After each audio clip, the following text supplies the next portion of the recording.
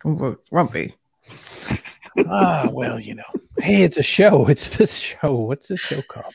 It's This the is back- the backpack show. I wouldn't blame you for forgetting. You have so many shows in your like StreamYard brand thingy that you could choose from. You know why I have so many shows uh, on my show with the StreamYard? 'Cause it's so easy really to use. You broke it on me slash StreamYard. Get your own damn show. Whack. Okay, there you go. One ad read out of the way. We did it. oh, you're so funny. Kerry, who's our guest today? When you like to know. I would. it is Janice Gassam Asare, PhD, the author of The Pink Elephant, a practical guide to creating an anti racist organization. She also wrote Dirty Diversity, a practical guide to foster an equitable and inclusive workplace for all. And she has a podcast that I want to talk about. So lots of things. She's principal consultant and podcast host. You can find her at bwgbusinesssolutions.com. I'm way back on Dirty. Um, I'm- I went right to You are a Dirty, Dirty child. Diana. No, I went to Michael Jackson. Like an Dirty eighth grader right now.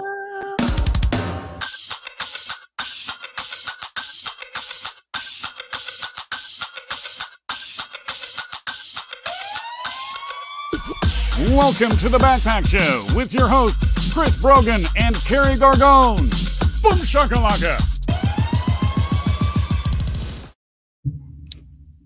Hey, So my son streams on Twitch, and last night I I gave a bunch of subs, like I bought a bunch of subs to gift, and so Oh. he was playing Minecraft. And it's going ching ching ching ching ching ching ching ching ching, and he got distracted and he died. Oh, Felt so bad. Anyway, you're a bad mom. I'm a bad. I am a bad mother. oh well. I'm Hi, gonna read Leslie. Hi, Janet. Leslie and other Janice are here. Uh, we have our own Janice today, um, but I'm going to read two more ads and then we'll talk to our new friend, Choose wisely. Dr. Janice. Hmm, two more ads. Choose Oh, wisely. she's so smart. I'm so excited about this.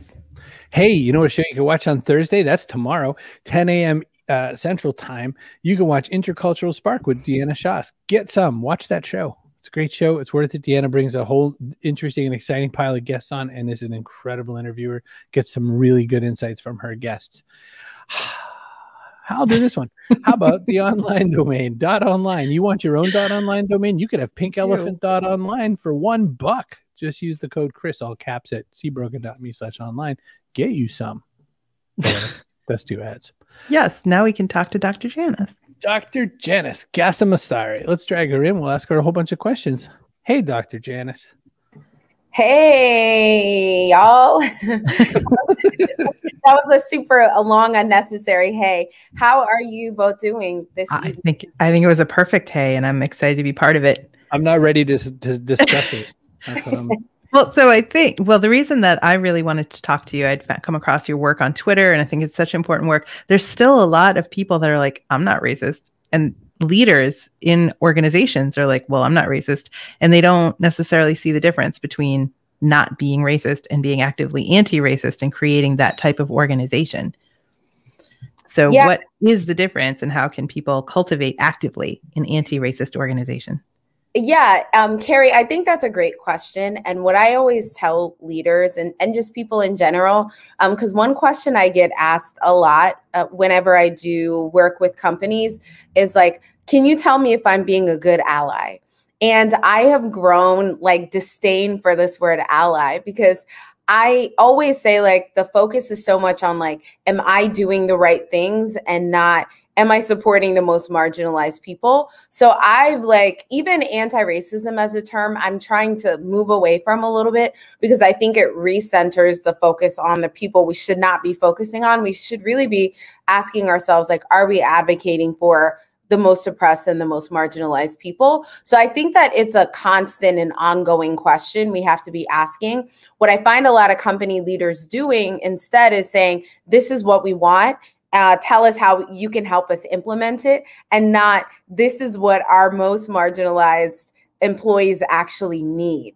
So we see a lot of companies throwing tons of money, millions of dollars for these different like initiatives. I'm not going to name any names, but just putting millions of dollars toward these things. And I, I always ask, like, what are you actually doing for the employees? Because I see you have this apprenticeship program and this small business entrepreneurship grant. And I'm like, that's cool. but how are how is the environment you're creating within the company so i think we should be asking ourselves like who are the most marginalized in this workplace and what are we actually doing to support them janice let me go back and ask you a question about that because you're saying I, I i'm not disagreeing with what you're saying what i wonder is uh, how do you get that info like, th- does a yeah. CEO go, You seem marginalized. Why don't you tell me what you need? Like, that doesn't yeah. seem like a good plan to me. Like, wh- yeah. how's that work? How do you how do you get that? Well, that's an excellent question. So, in my book, I actually um, mentioned or referenced this amazing book, which I recommend everyone read, called Caste by Isabel Wilkerson. She's a, a Pulitzer Prize winning writer. And um, I think a lot of people know her because she was like on Oprah's book club or something. But um, she talked about within the US how there's like a racial hierarchy. And if you think of the US as like a caste system, similar to what India had, um, then if you look at who is at the top and the bottom of the hierarchy, uh, Black Americans are at the bottom, quote unquote, of the racial hierarchy. So, based on that sort of understanding for US based companies, I would ask organizations to look at their Black employees specifically and think about what programs and policies have been implemented to support them specifically. What I hear a lot of leaders saying is, well, we don't want to alienate the other people. So we don't really want to focus too much on this population. And I'm like, one thing that's cool and interesting is if you have programs that support the most marginalized, everyone in the workplace will benefit. Like if you're like, we're going to put in a mentorship program, even if you're aiming to specifically help Black women, for example, having a mentorship program will help everyone within the organization. So I think it's really important to be specific in the focus. But um, to answer your question, Chris, it sounds so simplistic, but like you wouldn't guess how many companies don't just ask, like, what is it that you want? Like, what, how can we support you? I think leaders hire me already knowing what they want. And they're like, yeah, we want you to do this and we want you to do that. And I'm like, no, this is what you should actually do. Um, a lot of companies just, to me, it's just like hire folks like me, but don't want to listen to us. So I think the simplest thing you could do is ask the people within your workplace what is it that you want? How do you want to feel supported? Um, what can we do? What policies can we implement? Besides everyone wants to get paid more. I think that's like the running theme is like pay us more. Um, but it's also like do i have an equal opportunity to get promoted? Am i getting promoted at the same rates as my counterparts or am i getting i am i in this position and i've been here for like 10 years in the same exact position so i think asking the people within the company what they actually want without leaders assuming they know is is probably the best strategy Chris, I don't know what you're laughing about because people do that to you too, like hire you and then don't listen to you. No, I, I totally love that, but I was I was actually I was just laughing about the whole uh, like for instance all the new chief diversity officers that oh, showed yeah. up, and and I know Jen is gonna know because this is her world, but like so the, the analogy that comes to my head that made me giggle was that you know that Simpsons beginning where you see the Simpsons and Maggie is beeping the horn in the back and she's totally not yeah. the car. That's chief diversity officers, yeah, right? That is so true. That is so true. I love Simpsons, by the way, and it's funny because I went home to see my parents and I was watching it this this um this weekend. I literally grew up on that on that show. But yeah, it's it's like companies hire chief diversity officers and don't give them the tools that they need to succeed don't give them any power to actually make the changes so a lot of it feels kind of performative where it's like hey we're going to bring this person in and say we're doing something but we're actually not um, or we're not giving this person any sort of power to change things. Um, so we see this a lot, especially after companies do things and say things where they get themselves in trouble. They bring someone in, they bring someone on board, and then it's like, but what actually changes within those organizations? Not always a lot, um, but it, it gets people to kind of shut up if they see, oh, they just hired this person or they just brought this person on board. So a lot of performance going on. Kerry has a thousand questions, but I have one that I, it's like I'm, it's like gonna poke through my chest like the movie Aliens. Um, you said this early on, and I and I full on took the blow to my face, you know, because I like to say ally and stuff like that. When you said it, I was like, oh my gosh, she's so right. I'm an idiot. I get it. Uh, however, because we almost always have I thoughts in our head. If, if if you walk into a room full of people and you say people around here aren't eating healthy, every single person in the room thinks I, i'm eating healthy right like they, it, yeah. you go to you because that's who you that's who you kind of control No, I'm like, I'm gonna eat this brownie and I regret nothing. Yeah. so you can your watch me. point- I'm gonna enjoy this Cinnabon. oh, we got to talk Cinnabons in a bit. So, but the, to your to your point, you know, the person comes at it thinking, "I'm doing these things. I've got to do it. Me, me, me. I because that's all I can do." And you know, I don't want to be a Karen or or whatever, right? But how do you help them? Because your your point was so valid. How do you help them realize? We got to set this kind of pool up. You got to get outside of you. How do you help the people kind of get that past the you, or do you, or or what do you do? Are there exercises? How do you when you mm-hmm. get brought in? What do you do? I always ask people to explore like what, and I feel like this is another overused word that has sort of lost its meaning, but I always ask people to think about their privileges because even me as a Black woman, I have privileges and I talk about them a lot. I talk about the fact that um, I'm lighter skinned, I'm a lighter skinned Black person gives me privilege compared to a darker skinned Black woman. Um, the fact that I, I have youth privilege somewhat, somewhat but youth privilege in this country. I have, um, I took an implicit association test. Harvard has them on their website where you can take a bunch of tests to tell you if you have unconscious bias.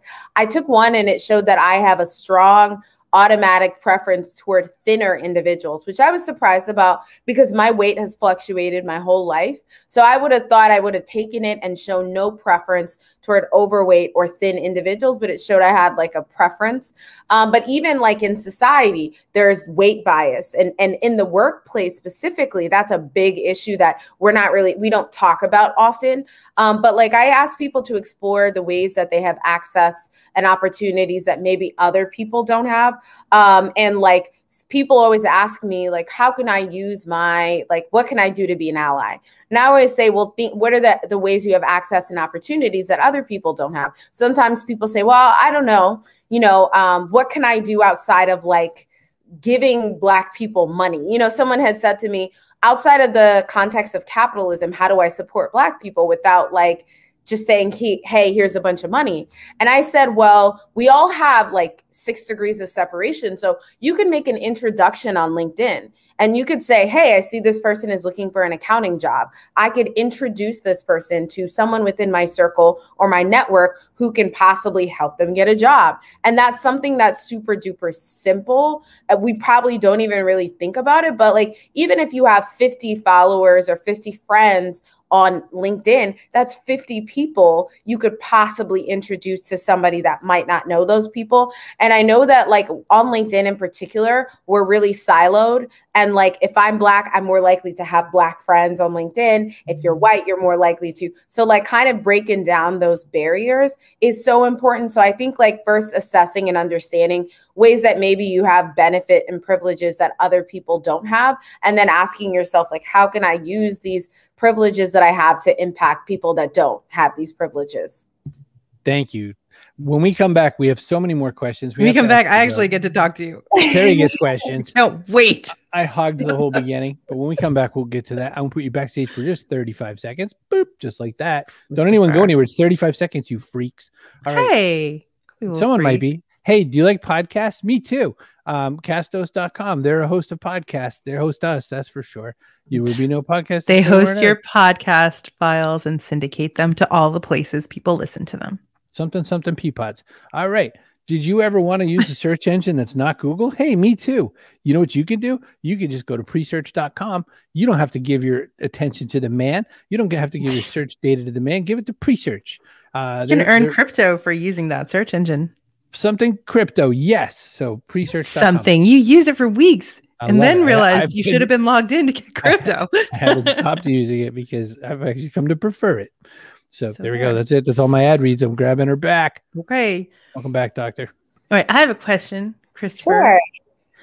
uh, by your leave. So I was just thinking that sometimes people feel in the workplace, maybe they just feel unsupported, but they don't necessarily know what kinds of things they would need to make things better. So if the organization asks people and then they don't have concrete ideas, they, I would imagine, think, well, we're doing you know what we can we're doing everything they want because whatever how can you give them ideas for things in a way that makes it sound like um like you're not suggesting that they're deficient or ignorant but being like well you know sometimes people don't know what they need Mhm. like as far as like they know that they're not feeling unsupported or that they're feeling as though they're isolated or something but here's some ideas for things that have worked elsewhere. Like, how do you have that conversation when they they're like, hey, they're saying they're fine. So mm-hmm. yeah, I um I give suggestions or I say um I had a conversation. I try to spin it around the folks that I talk to when I go into these companies. And I'll say, I had a conversation with one of the people on XYZ team, and they said that um, they said that they feel like X, Y, and Z you know and that usually gets the leaders to be more open but in all honesty sometimes leaders don't listen to me you know i, I was doing a workshop um, several months back and we were talking about um, what is it? Employee referral programs. And you know a lot of companies have these referral referral programs where they're like hey refer your friends and um, we'll give you a sign-on bonus or we'll give you some sort of bonus. And i shared with the people in the workshop the ceo happened to be in the workshop and i said um, you want if you're looking for more diversity in your pipeline you want to stay away from referral hiring because that tends to bring in a homogenous group of people in the workplace and doesn't add more diversity typically. And the CEO interrupted me in the middle of saying that and said, Janice, I can tell you right now, we're not going to stop re- doing referral hiring. And it was this like awkward moment where I just was like, okay, you you're paying me, you brought me in to advise you, but you don't want to listen. And that's fine. You know, it's almost like you can bring a horse to the water, you can't make them drink it. And so there are those situations where people, the leaders think that they know better, or they think that I've been doing this work for 30 years, or I've been at this company for 20 years. I know better than this person who's coming from outside that doesn't know anything about our company. And that is absolutely true. You know the company, but I also write about these topics a lot. So I have to do a lot of research. So I know a lot of best practices. And the reason that these companies hire me is because they recognize this person studies this these things. This person is passionate about these things. Maybe we should take this person's advice. You would think, you know, but a lot of times, you know, companies are like, yeah, we're not going to do that. We're going to do things our own way. And I think that that's part of the problem. But sometimes companies I've worked with are very open to like listening to new ideas. So sometimes I, I inform them that it was, hey, one of your employees shared with me that they want an anonymous way to give feedback. That's something that mm. I don't see a lot is like anonymous feedback. So, what about then having the conversation where this is hard to explain, but obviously, if they're talking to you, they've reached a certain level of awareness that perhaps the boardroom is like blindingly white, right?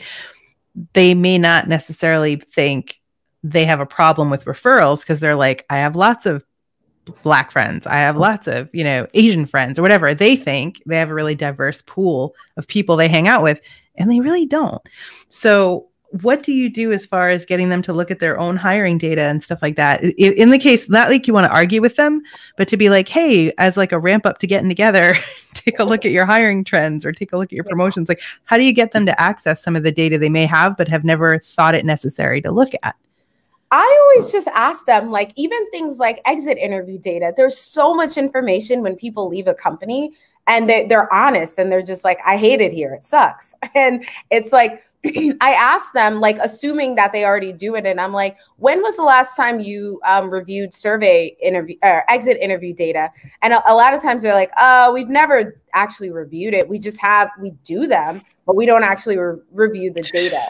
So I think okay. when you say things like that, then they're open to like, oh, okay, maybe we should go back and check. Do they check the Glassdoor website? Because sometimes disgruntled employees past and current will write feedback in there. So like I think making the suggestion um because oftentimes they're looking for someone to like provide guidance on like what should we be looking at? We know like how many people are coming into our pipeline but what else should we be looking at? And i'm like look at your promotion rates. Um, because someone has shared with me their company didn't have an issue with um, the Asian American Pacific Islander uh, population. They had representation, but what they were finding was that not a lot of the people from that community were ascending or were getting promoted in the workplace. So they were like, okay, we have this employee who's been here for 10 years, but she's literally been in the same position.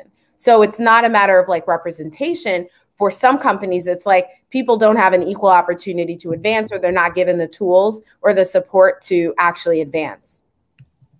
We had that on the show. We had uh, uh, one example from Broadway, uh, Jessie Hooker Bailey, who was in the very popular uh, show. Oh my Waitress. gosh, waitress, waitress. I don't know why I had blanked on that for a second. And she was saying that there's sure a lot of people of color in uh, Broadway shows if you look at the chorus. Yeah. And The you look at understudies. and- the understudies, the chorus, but never the Yeah. leads. Sometimes the seconds. And we also had on uh, the the first Black Anna on Mhm. uh, Frozen and whatnot, and her, her name On Broadway. But it was the same thing. So what what broke my heart about it was to hear Jessie saying, "Hey, listen, you know, I came out of the same great schools and programs and stuff. I had all the same training and qualifications. Then, you know, white woman would get the lead instead of me, and I was like, maybe I need to work harder. Go back to the drawing board, another vocal coach, coach, blah blah. blah. And then again, understudy, understudy, understudy, and pretty soon that that person she graduated with had had like three lead roles under their belt or something, and she's still understudy, understudy, understudy. So it's perpetuated, Mhm. Absolutely. even though yeah. qualifications are equal. Exactly. And there's a really good article that I would recommend from Harvard Business Review. It was written by um, this woman, Ruchika, and I'm gonna um, I'm gonna mispronounce her last name, so I'll just give her first name.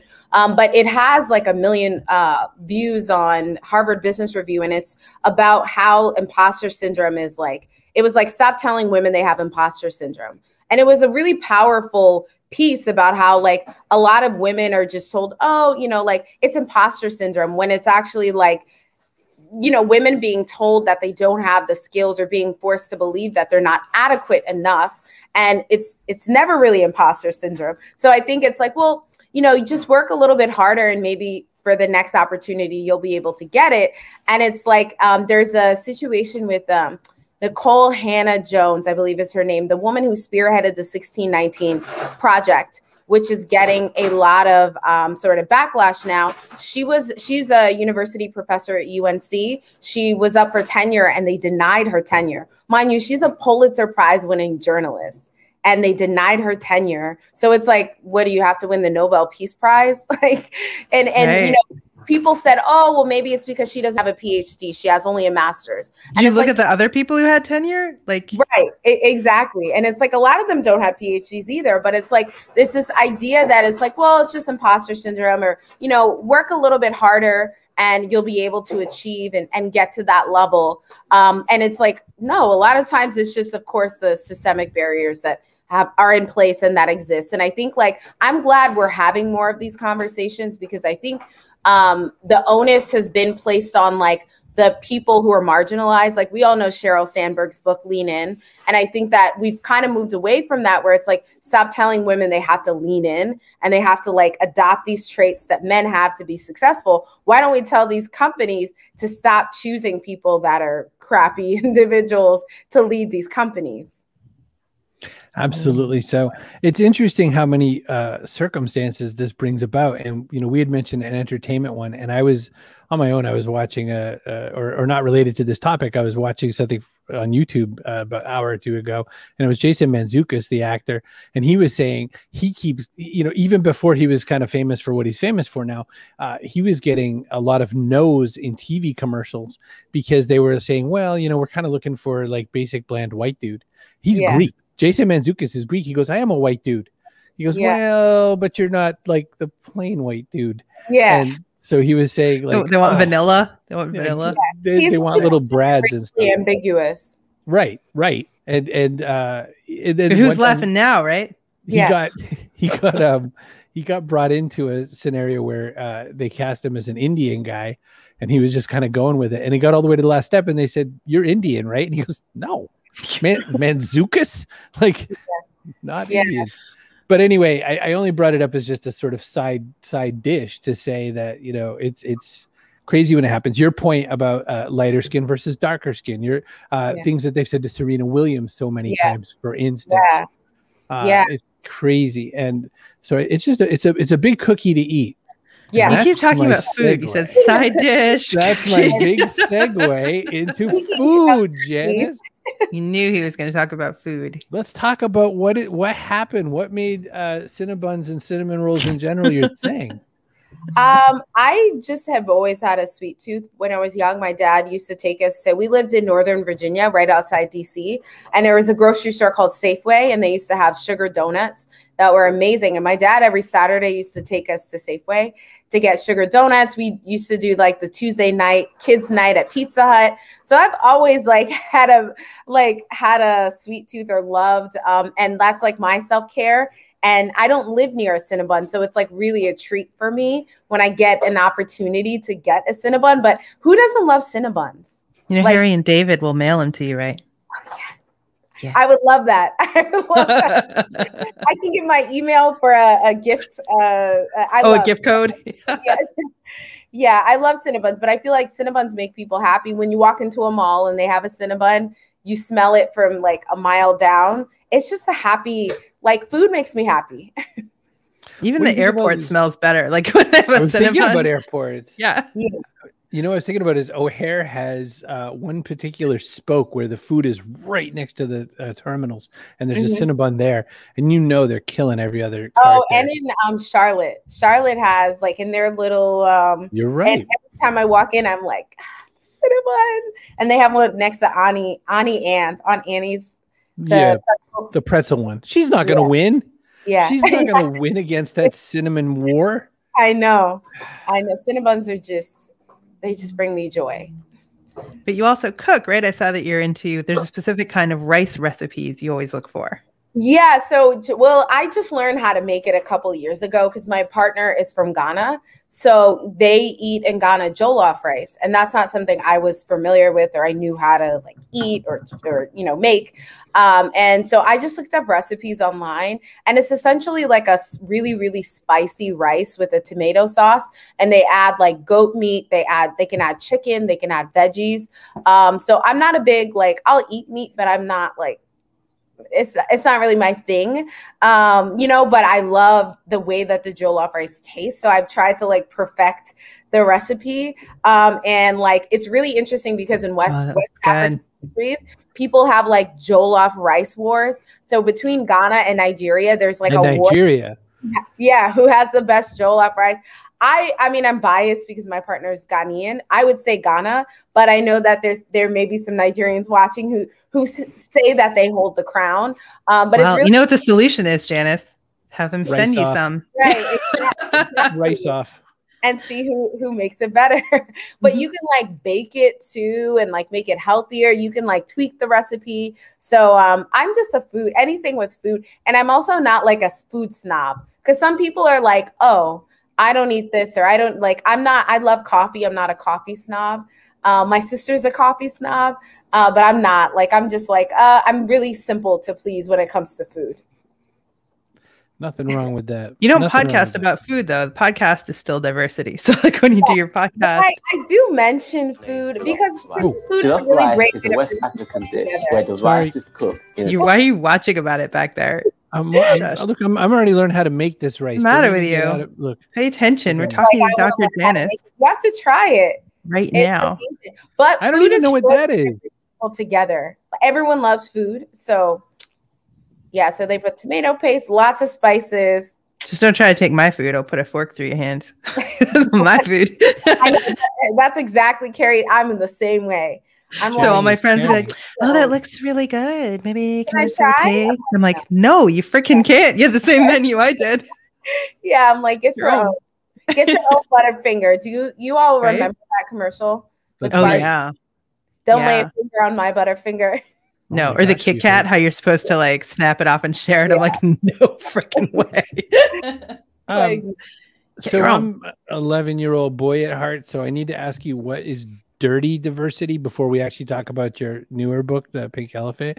sure. So Why is it dirty diversity? Hit me up. What's it mean? Why? That's a great question. So, uh, dirty diversity because uh, diversity in corporate America has become a dirty word. So people feel a lot of disdain for the word diversity when they hear, "Oh, we're bringing in Dr. Janice to do a diversity training." People have this like visceral reaction. So that is really why I named the podcast Dirty Diversity because I feel like the word diversity has become sort of like a negative has a negative connotation especially in corporate America. Uh, that is a good enough answer for me. I, I wanted so. What were you hoping for? No, don't answer that. No, like dirty rice. I was going like dirty No. rice. I was thinking kind of like you know No. that sort of like spicy, like spicy jambalaya, like everything in the pot kind of a thing. Like, you know. diversity. But I love one thing about me, I love alliteration because I feel like things are easier to remember when it's like a bunch of D's, dirty diversity or diversity dinner dialogue or what you know, people will remember. So I Hmm. like the alliteration. Uh, you obviously had to shut those down a little during the old ye old covids. Are you planning Mm. to pick up some of those dinners and workshops again soon? I am. So I'm glad you asked. I plan to, I have to just schedule it. Um, I was doing it in New York City and it was actually sponsored by Papa John's and they have Woohoo! brownies. They actually were bringing in like 20 boxes of pizza, brownies. They have these like marble cookie things, um, which were amazing. So I'm planning on like finding a day in August, probably like midweek, like Wednesday or Thursday, and and having it. There was a studio right next to Times Square that I was able to do the events in. So I'm planning on bringing it back this August. So I'm excited. Oh, can I ask you a sort of tough question when it comes to that? Of course. Papa John's, uh, sort of semi super ultra famously CEO Oh, yeah. issue. Uh, but, but Shaquille O'Neal has a massive amount of investment in Papa John's, and Mhm. now Dr. Janice is working with him. Does Yeah. that mean we're okay to buy Papa John's? Like, hook us up here. That's a no. That's an amazing question, and um, so I'm connected with their chief or their former chief diversity officer. And two years ago, when I started doing these like diversity dinner series, um, she reached out to me and she's like, "So I wrote a semi-scathing article about them. It wasn't a positive article. Right. She must have seen it. And then I said I was doing this event, and I got a DM from her on LinkedIn, and she's like, "Hey, Papa John's would love to sponsor your event." And I was like, mm, and that was No. right when like after the CEO it's used the N word and uh, it was all of these things and I was like um and then she she I spoke with her about all of the initiatives that they've introduced and I felt better once I learned Okay. what they were actually doing and they've been sponsoring these events so people in the New York City area can come together can talk about how to create more equity and inclusion um because I do it as a free event um and I just eat the cost of whatever the studio is so I like that they're trying to Right. make better. Um, and then they added, uh, they have a chief branding officer who is actually Ghanaian, who they hired. Shaquille O'Neal, like you mentioned, is on the board. The CEO was on the board and then he stepped down. I don't know what role he's playing now, but so I think that they're slowly bouncing back or trying to bounce back. Um, and so yeah, that was that's actually a great question, and I'm glad you asked that because at my very first event, I know that people were like, "Why did you go with Papa John's?" And I was, "Well, that's a great question." And and I spoke with the chief diversity officer, and they're trying to, you know, she's trying to fix things and make the environment Cool. better because the reality is there are people from you know there are black employees there um, because someone said to me well the solution is all the people of color getting out of corporate america and i said yeah that sounds nice but that's not a reality everyone's not going to like leave corporate america so how do we create safe environments for those people and if someone is brought in and is trying to do that i'm open to like listening and seeing what they're actually trying to do Like, what's inviting the people. alternative then? The alternative is for everybody to be like, no, you're canceled. We're not Yeah. ever going to have anything to do with you again. And they're like, all Yeah, right, F yeah. it. I guess I'll just be Yeah. racist. but I'm sure is easier. Exactly. And it's like, what do you do for the franchise owners who are like, so I, you know, I do, I'm like on the fence about cancel culture. I, I think people should be held accountable. Absolutely.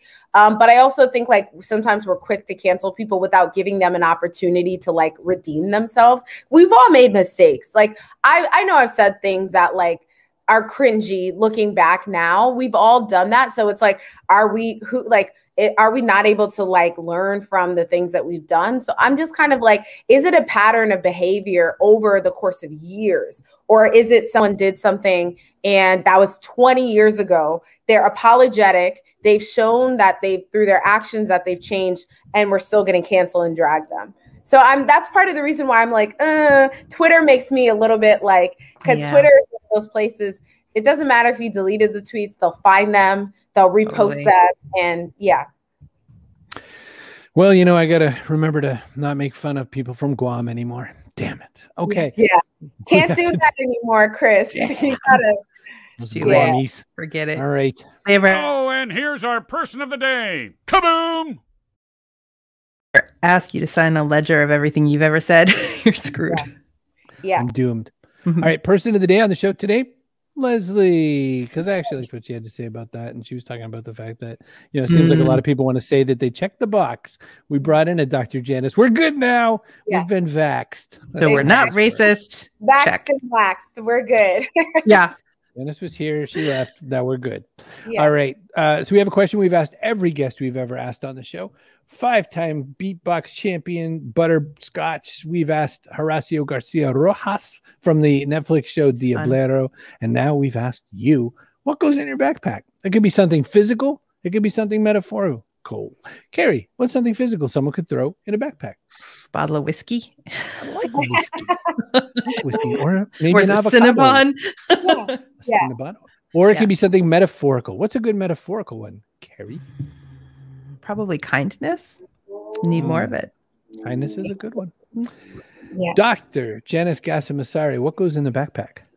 I would say optimism. I I try to be a really optimistic person and I I know that like these systemic barriers exist, racism exists, but I try to move in life feeling like I can actually make a change and being optimistic about that because people tell me all the time that like things are going to stay the same and I'm not going to make a change and why do I even put any effort into it? Um, so I would say like I try to remain optimistic no matter what. Um, I say optimism is my superpower. Um, so I would say optimism and probably like Cinnabons as well. I like the package. Yeah. I like the put package. I think that's going to work out rather well. So, you know, Leslie, you could either have a a, a really good apple because you know that's the backpack show Yeah, ways to get you an apple, sure. or you could put it in a pie. That's what I say. could be Yeah. a Cinnabon. And so, they have you know, ice cream. Um, ben and Jerry's has Cinnabon ice cream. They're, the options are Mm. unlimited. Well, if you go do something like that, there's a recipe my grandmother used to have. It would involve Cinnabons and apples, and it worked kind of like